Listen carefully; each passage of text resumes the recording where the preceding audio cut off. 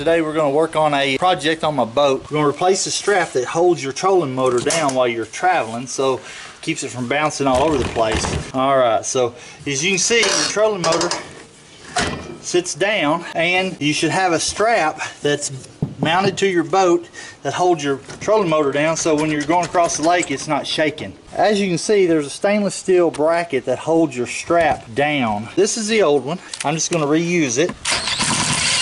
I am going to take it out and I'm going to take this one out.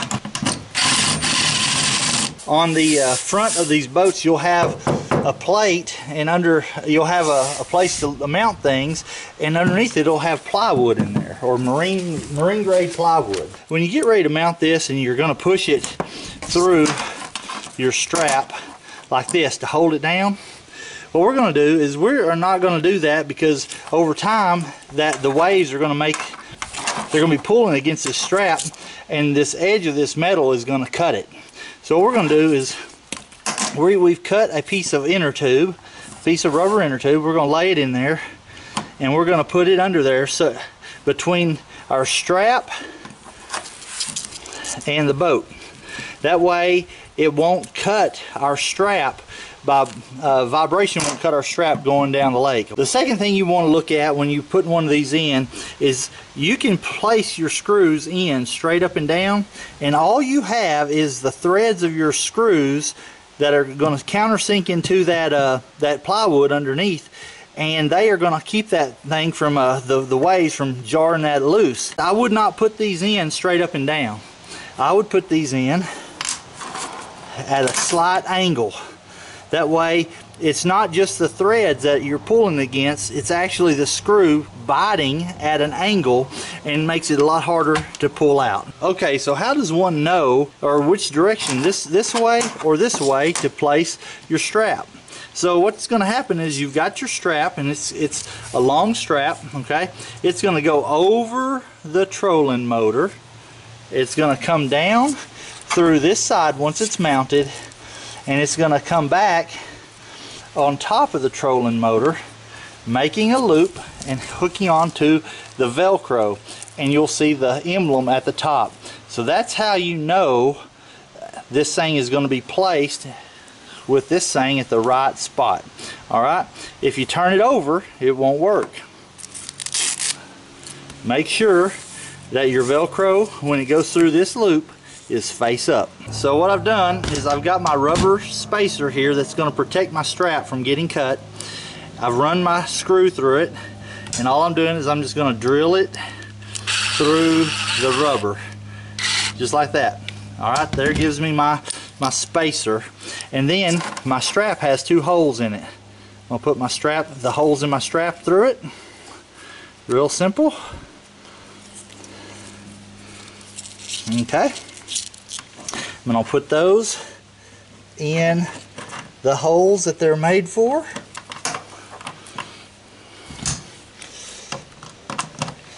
And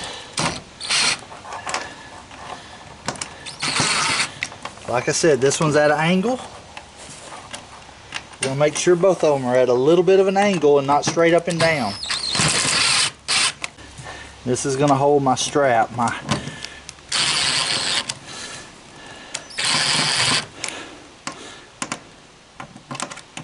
I can hit the hole.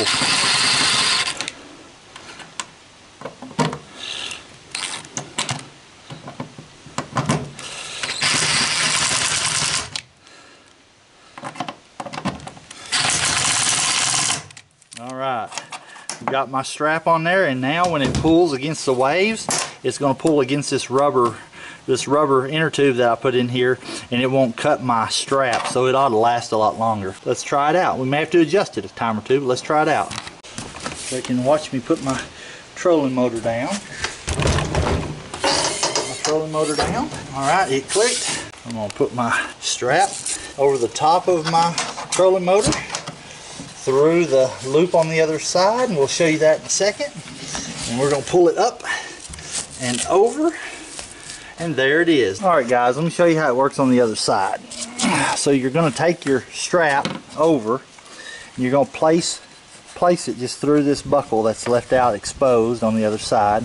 You're going to pull it and you're going to bind it back against itself and just put it and attach it on the Velcro. Now what I need to do is I'm going to have to I'm going to adjust this so that this is I have more Velcro holding it instead of just a little bit. I'll have a full six inches. I've now adjusted it I made this a little bit longer. Alright guys so I'm adjusting I'm adjusting my strap.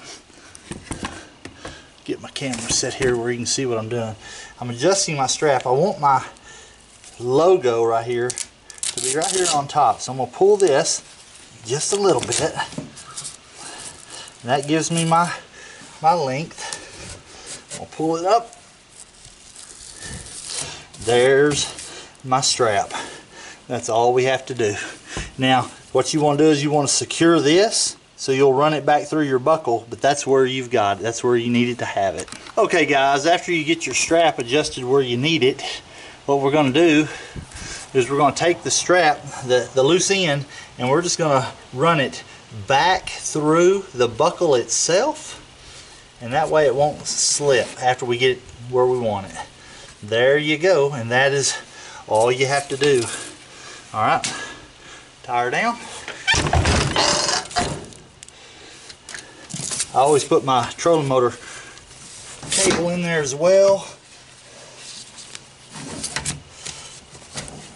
There we go. Good to go. Ready for another trip to the lake